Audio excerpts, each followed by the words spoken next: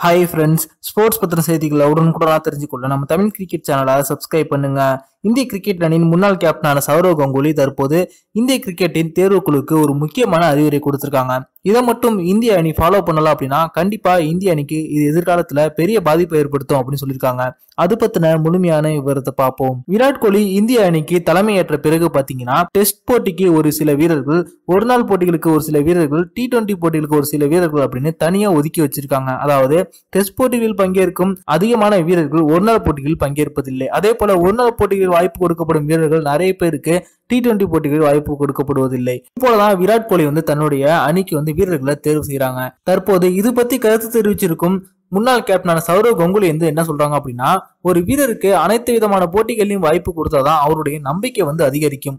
அவருடைய ஆட்டத்திறனும் அதிகமா அதிகரிச்சு நெருக்கடியை சமாளிக்கக்கூடிய திறமை அவருக்கு அதிகமா வரும். இதனாலதான் இந்திய அணி ஒரு வெற்றிகரமான அணியா உருவாக முடியும் அப்படின்னு சௌரவ் கங்குலி அறிவுரை கொடுத்திருக்காரு. எடுத்துக்காட்டா கங்குலி அவர்கள் கேப்டனா இருக்கும்போது பாத்தீங்கன்னா விவிஎக்ஸ் லக்ஷ்மணன் மற்றும் அனில் கும்ளே இவங்க இரண்டு பேருக்கு ஒரு நாள் போட்டிகளோட டெஸ்ட் போட்டிகளை மட்டும்தான் அதிக வாய்ப்பு கொடுத்தாங்க. இது போன்று ஒரு சில வீரர்களை மட்டுமே அவங்க ஒரு சில போட்டிகளுக்கு ஸ்பெஷலிஸ்டாக வச்சிருந்தாங்க. மற்றபடி ஒரு நாள் போட்டியில் விளையாடும் அதிகமான வீரர்களுக்கு டெஸ்ட் போட்டிகளில் அதிகமான வாய்ப்புகள் வழங்கப்படும். ஆனால் விராட் கோலி அணியிலேயோ பார்த்தீங்கன்னா டெஸ்ட் போட்டியில் விளையாடும் அதிகமான வீரர்களுக்கு ஒரு நாள் போட்டியிலையும் ஒரு நாள் போட்டியில் அதிகமாக விளையாடும் வீரர்களுக்கு டி டுவெண்டி போட்டிகளிலும் வாய்ப்புகள் வந்து மறுக்கப்படுகிறது. இதை பத்தி தான் தற்போது சௌரவ் கங்குலி அவர்கள் கருத்து தெரிவிச்சிருக்காங்க. அதிக வீரர்களுக்கு வாய்ப்பு கொடுக்க வேண்டும் அப்படிங்கிறதுக்காக இந்திய அணியை அழிவுக்கு தள்ளிடக்கூடாது. ஒரு வீரரோட திறமையை சரியாக நம்ம கணக்கிட்டோம் அப்படின்னா அவரை எது போன்ற போட்டிகளில் களமிறக்கலாம் அப்படிங்கிறத ஈஸியாக கணிச்சிடலாம். அது போல் முக்கியமான நிறைய வீரர்களை தேர்வு செஞ்சு அவங்கள அனைத்து விதமான போட்டிகளையும் களமிறக்கணும் அப்படின்னா அது இந்திய அணியோட வெற்றிக்கு மேலும் வழிவகை செய்யும் அப்படின்னு சௌரவ் கங்குலி வந்து அறிவுரை சொல்லியிருக்காங்க.